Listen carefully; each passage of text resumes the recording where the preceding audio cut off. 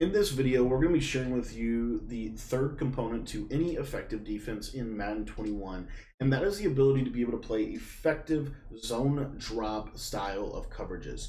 What's up guys, my name is Cody and I want to thank you for taking the time to watch this video. If this is your first time visiting my channel, my channel is all about helping people become the best Madden player that they can possibly become. And so if you're looking to get better at this game, I just want to encourage you right now to click the subscribe button at the bottom right hand corner of your screen. It's completely free to subscribe and it just allows you to be able to stay up to date with the latest tips and strategies going on right here on the YouTube channel. Now, in this video, like I said, we are covering some defensive strategy. And so there's really five key elements to defense in Madden 21. Any successful defense will have this in their defense. They will have a good run defense. They will have uh, the ability to play good zone drop defense. They will have man defense, man coverages. They will have pressure schemes that they can use from all of those style of coverages. And then they will also have a short yardage defense, right? So they're going to be able to stop the run. They're going to be able to play match defense, which we talked about yesterday. They're going to be able to play zone drop defense. They're going to be able to play man to man defense. And they're going to have a pressure scheme that is going to fit through all of that. A common thread through all of that is its ability to get pressure. And so we're sharing that with you today, how to do this from the nickel 335 wide. Now, if you have not already got my nickel 335 wide defensive guide, it is down in the description. I'm going to leave a link to it in the description. It checks all of these boxes. It's the best defense in the entire game. And you can get that entire guide breaking down that defense through written setups, through video breakdowns, and through film study analysis. You can get all of that for just $15. So if you want to get that, that is available in the description. Okay, so what we want to do when we're talking about zone drops is we want to kind of have a starting point.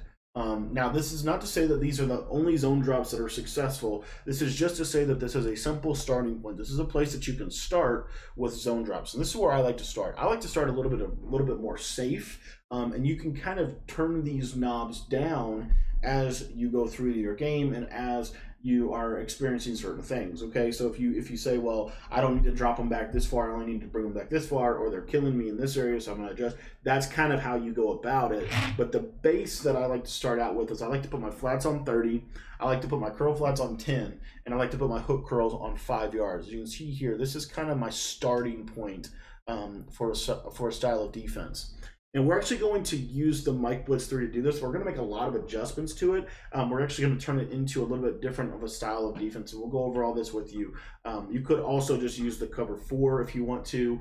But um, you, I like, I actually, actually, you know what? We are. We're going to use the cover 4. We're going to use the cover 4 show 2 from 335 wide because it's going to give you a little bit better of a glimpse into what I'm actually trying to accomplish. It's actually could probably be a little bit safer anyway. So, uh, cover 4 drop, that's what we're going to go with. And uh, as you can see here, I'm in the U trips. I'm gonna mo- I'm gonna move the ball over here to the left hash mark so that I'm on the wide side of the field. Um, and the first step that we want to take here is we want to audible down into that cover four show two. So as you can see here, this is the base defense. This is exactly how we want it to look. Now we know from previous experience that if we want to stop the run from this formation, we need to shift our defensive line to the left, and we're going to kind of user our guy like right in here. Okay, that's kind of how we've, we've learned this. Now, we, what we do is we want to set up our zones. And so here's how we're going to go about, here's how we're going to think about this. To the short side of the field, we are going to be running essentially a cover two style of defense. To the wide side of the field, we're going to be running a cover four style of defense. And so essentially it's cover six. That's really what we're after here, but we're going to be leveraging a Mabel concept in order to do this. And so this is kind of how it's going to play out. So um, on the cover four side, so like on the wide side of the field in this example, um, we want to play, and I apologize, I told you wrong. On the wide side of the field, we want to play cover two. Um, Okay, so we want to play cover four on the short side, and we want to play cover two on the wide side. The reason why is if we play cover four on the short side of the field, oftentimes that quarter zone will play very, very effective. And you can flip flop this as you need to. This is just the basic concept that I want you to be able to understand. Okay, so here's what we're gonna do. We're gonna put a flat out there, a cloud flat on the right side. As you can see there, I've got him on a cloud flat. I'm gonna put L1 here on a deep half zone, just like this right here. And then what you always want to do with the with the cover four show two specifically is you're always going to have a problem player, like a player that will cause problems for you. And you want to be able to use some man coverage in here. So I like to take the blitzing linebacker over here on the right, and I'm going to man him up onto that slot receiver there, just like this right here. And then the last thing that I'm going to do is I'm going to drop a little three rec hook zone right over the tight end, just like this. And now on the left side, essentially I've got to kind of pay attention to the running back in this formation. That's kind of my primary focal point. Okay, so as you can see here, this is kind of how the defense looks. Now, um, I will tell you that if there is no vertical threat, which in this example there is there is only one vertical threat, meaning if there are two vertical threats, so the way that that would look, if I you see here that there's only one receiver on the left side, okay? Now, if I were to motion Lazard to the left here, you're going to see that now there are two vertical threads. Okay, so I could streak both of them. But if he's over here, I don't have to worry about that. And so the reason this matters is because it changes how you're going to play your defense. It allows you to have an extra person playing underneath. And so what we're going to do in this example is we're going to put a cloud flat out there until they motion R1.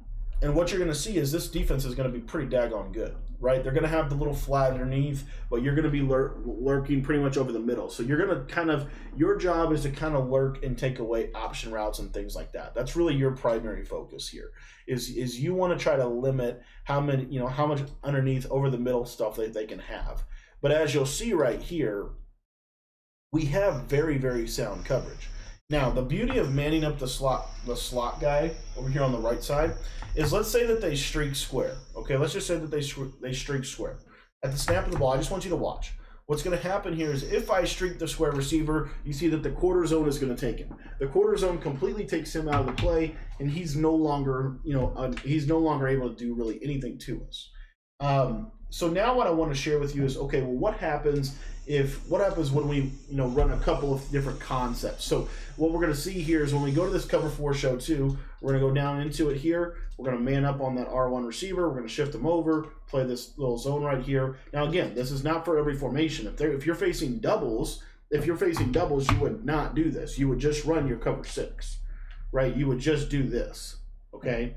And let's say we take circle and we put him on a little fade the beauty of the cover two to the wide side of the field is it actually will do a pretty darn good job there. As you see, it really does push him to the sideline.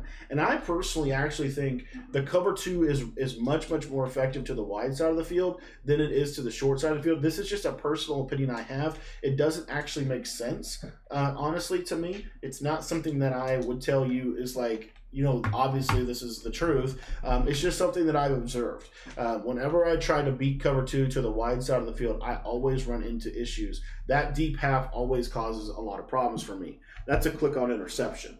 And so if you, you know, you might want to put, you know, you're a little faster guy there or whatever, but that is almost always very, very successful to me. Okay. Now, I want to share with you the inverse. So let's say that you don't agree with me, and let's say you want to do a different style of coverage. I completely understand. This next coverage is a little bit safer. So here's how you'll do it. So you're setting everything up, kind of starting out the same. But what we're going to do is we're going to put a cover two side on the left. So we're going to play cover two to the short side. Typically, we're going to combine that with a Mabel concept, just like this right here. Now, on the wide side, what we're going to do is we're going to drop that little three rec hook zone, and then we're going to take this guy right here, Redman, and we are going to um, we are going to do we can man him up we can still do that. Um, but what i like to do is i like to go ahead and put holman into a hard flat and i'm going to put um, redmond into a seam flat. So it's basically mabel coverage and what this is going to do is this is going to do a little bit better against those cover those cover two uh, type of situations. You know, whenever they have stuff like that, this is going to be a little bit more effective. And so what you'll see here is that this post route that's supposed to be super super glitchy is going to run right into three players. Okay, and so that's the beauty of this defense. This defense is the best defense in the entire game. If you want to get the full nickel three three five wide defensive guide, it is in the description of this video. But this is kind of the way you want to do it. Essentially, what you want to do uh, from a zone drop perspective, and again, this is again you you change it based off tendencies a little bit, but those are kind of your default zone drops and what you want to do is you want to drop that three rec over there. You want to make sure that you have a Mabel concept on the wide. You always want to have Mabeling to the wide side of the field. On the short side, you can kind of get innovative. And, and again, if you're trying to get yourself a plus one defender, um, that's where I really like the cover two to the wide side of the field. I actually think it works a lot better than people realize, and you can have a lot of success. And even if you wanted to, you could just man up the circle receiver, and then you know if they try to streak the R one receiver up the seam, you can go get it. You can do all of those things, and you'll see right here the deep half will take that away. Um, so very very good defense in my personal opinion. And again, if you haven't gotten the full guide, it is in the description. Uh, tomorrow we're going to talk about um, man man coverage. Uh, so far we've talked about run defense, match defense. Today we talked about zone drops. Tomorrow we're talking about man defense, and then the last, lastly, we're going to talk about how you can actually go about getting some pressure from this formation and putting pressure on your uh, your opponent. So thanks for watching this video. Hope you enjoyed it, and if you want to get the full defensive guide that has video breakdowns of this, written setups, and film study analysis, it's in the description. You can get that for just fifteen dollars.